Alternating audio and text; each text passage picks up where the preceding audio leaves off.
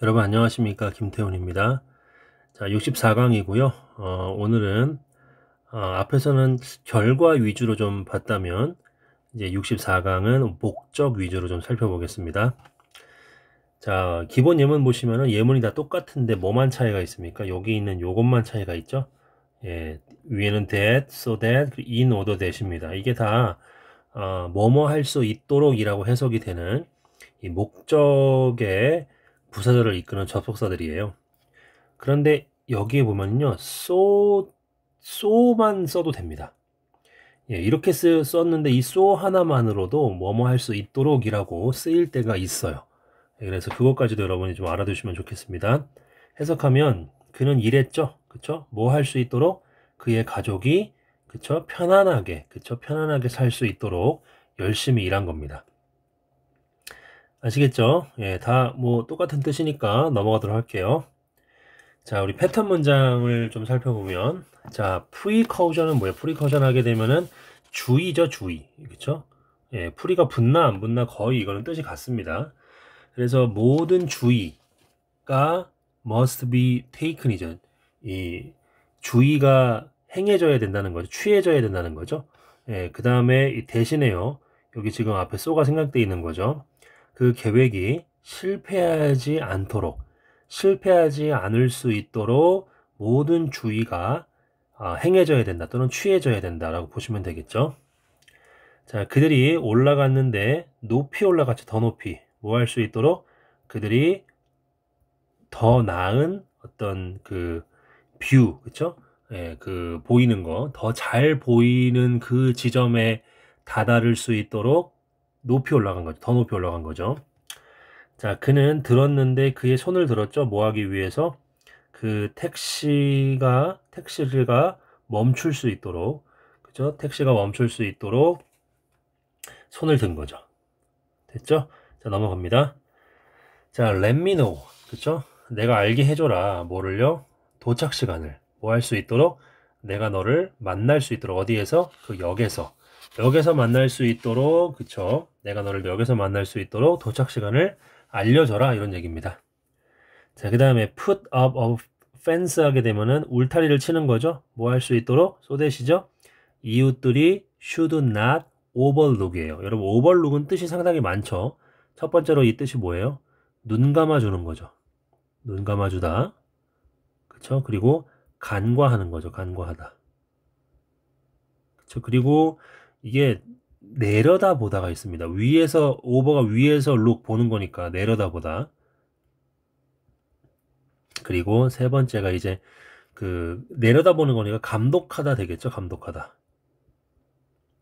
그렇죠. 그래서 여기서는 2번 정도로 해석을 하시면 될 것 같아요. 이웃들이 내려다 보지 않을 수 있도록 그렇죠. 나시니까 않을 수 있도록 울타리를 어, 친다는 얘기죠. 그쵸? 쳤다라고 보시면 되겠네요. 자, 그들이 재촉합니다. 그죠? 예, 쏘댄 나왔네요. 뭐 할 수 있도록 그들이 열차를 놓치지 않으려고, 그쵸? 놓치지 않을 수 있도록. 자, 주소가 should always be written. 언제나 쓰여져야 하는 거죠. BPP니까. 그쵸? with care니까 주의 깊게, 신중히. 뭐 할 수 있도록? 그게 읽혀질 수 있도록 쉽게. 누구, 어떤 누구에게라도. 어떤 누구에 의해서라도 쉽게 읽혀질 수 있도록 그쵸 주의 깊게 그 주소가 아, 언제나 쓰여져야 된다는 겁니다. 자, 그 다음에 또 넘어가시면 he shouted죠. 그가 소리를 쳤는데 어떻게 소리를 쳤어요? at the top of his voice죠. 이게 목청껏이에요. 목청껏 소리 질러 이런 뜻입니다. 그가 아주 목청껏 소리를 shouted 했어요. 뭐 할 수 있도록 여기 쏘가 생각되어 있는 거죠. 바로 그가 들려줄 수 있도록 그렇죠? 들려줄 수 있도록 목청껏 소리를 질렀습니다. 그 다음에 학교가 was closed 닫혔죠? 일찍 뭐 하기 위해서 in order 다음에 이거 지금 여기 for 지워야 됩니다. 이렇게 쓰면 안 돼요. in order 다음에 주어 동사가 나와야지 전치사 for가 왜 들어갑니까? 이거 지워야 됩니다. 만약에 for를 더 넣고 싶으면은 in order 다음에 그쵸? For를 써주고 for the children 이렇게 써준 다음에 그 다음에 to부정사를 써줘야 돼요. to go home이라고 써줘야 됩니다. 예, 그러면 이제 얘가 이 for 목적격이 의미상의 주어가 되는 거죠. 근데 지금 뒤에는 to부정사가 안 나왔잖아요. 그래서 얘 지워버려야 돼요. 그래서 아이들이 might go home 집으로 갈 수 있도록 그쵸? ahead of the storm 바로 그 이 폭풍우가 오기 전이죠. 그죠? 이 storm이 오기 전에 아이들이 집으로 갈 수 있도록 일찍 학교가 닫혀졌다는 얘기죠. 자, 그리고 우리는 이제 읽, 읽어요. history 역사를요. 뭐 할 수 있도록 그쵸? 우리가 발견할 수 있도록 법칙을 어떤 법칙? 정치적 성장과 변화의 법칙이죠. 되셨죠? 자, 나는 resolved 다음에 to부정사 오면 결정하다 결심하다죠. 자, 하기로 결정했어요. 뭐를요? all that lay in my power. 자, 바로 나의 어떤 권한에 놓여 있는 모든 것이죠. 내가 할 수 있는 모든 것을 이야기하는 겁니다. 내가 할 수 있는 모든 것을 하려고 결심했어요. 뭐 할 수 있도록 이것도 so that이었죠. 예, 내가 어, have to blame myself니까 나 자신을 비난하지 않을 수 있도록 나 자신을 비난해야 하지 않을 수 있도록 어, 내가 할 수 있는 내 권한에 놓여 있는 모든 것을 하기로 결심한 거죠. 되셨죠? 예, 넘어갑니다. 자, 이것도 이제 우리 엑서사이즈 문장을 통해서 어려운 문장을 통해서 확인을 해 볼게요. 자, 소년들이 보내진 거죠, 학교로. 그쵸? 뭐 하기 위해서? 바로 그들이 배울 수 있도록 많은 또 다른 것들을 뭐 외에? 교훈 외에. 즉, 책으로부터 알게 된 교훈 외에, besides 외에, 그쵸? 많은 것들을 배울 수 있도록 학교로 보내진 거죠. 그래서 이러한 것들 중에 하나가 뭐예요? one이 주어죠? 바로 주로 independence, 독립이죠. 독립. 자, 한 작가가 선택해야 되죠. 그의 말들을. 그쵸? 너, 말들을 선택해야 되는데, 여기서도 이제 쏘인데, 쏘 대시죠, 여러분. 쏘 대시입니다. 뭐 할 수 있도록? 그 인상. 아, 바로 그 단어들이 전하는 인상이, 이때 이 대인은 복수니까 이 words를 받는 거죠. 그 단어들이 전하는 인상이 뭐 할 수 있도록 적절할 수 있도록 누구에게 의미에 어떤 의미 그가 그 작가가 의도한 그쵸 바로 그 독자들이 이해하도록 의도한 의미에 알맞은 즉 적절할 수 있도록 그 단어들을 선택해야 된다는 얘기죠. 아시겠죠? 예, 이거 소 대신데 대시 생략된 겁니다. 자 넘어갈게요. 자, 3번 보시면은 그는 뭐 했습니까? reduced 줄였죠. 그의 비용을 뭐 함으로써 먹음으로써인데 단지 하나 한 번의 식사죠. 하루에 하루에 한 번의 식사만을 먹음으로써 비용을 절감했어요. 자, besides 뭐뭐 외에죠. 바로 그의 아침 말고 아침 외에 한 번만 더 먹는 거죠. 그러니까 아침 먹고 점심을 먹든 아침 먹고 저녁을 먹든 한 번만 먹는 거예요. 그렇게 함으로써 그의 어떤 비용을 그쵸 줄인 거예요. 그리고 그는 먹었죠. 그것을 예, 어떻게 먹었어요? 그러니까 한 번 더 먹었는데 그 한 번 더를 어떻게 먹었어요? 빵과 이 버터와 코코아를 먹었죠. 그쵸? 몇 시에? 4시에.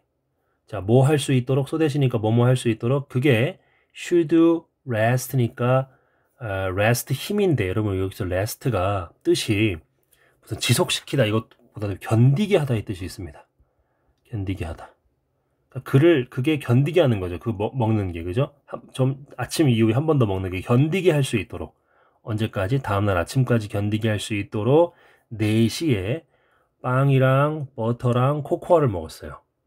예, 그러니까 빵에다가 버터 발라 갖고 코코아랑 먹은 거죠. 저는 이렇게 먹으면 한 1시간 있으면 배가 꺼집니다. 예, 그래서 이건 좀 너무 적지 않나.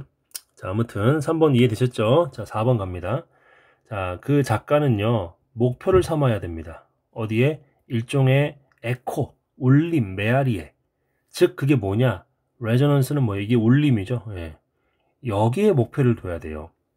그쵸? 근데 그 resonance가 뭐냐라고서 지금, 어, that 이하가 설명을 해줍니다.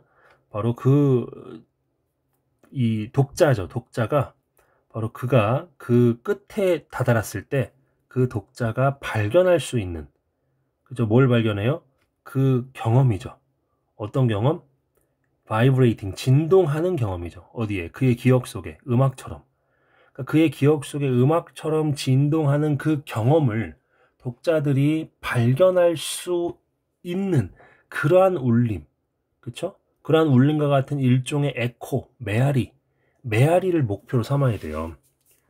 그러니까 작가들이 글을 쓸 때 그냥 단순한 짧, 이 단발적인 어떤 그런 이 감정을 건드리는 그런 게 아니라 책을 그 독자가 읽고서 끝에 다다르잖아요.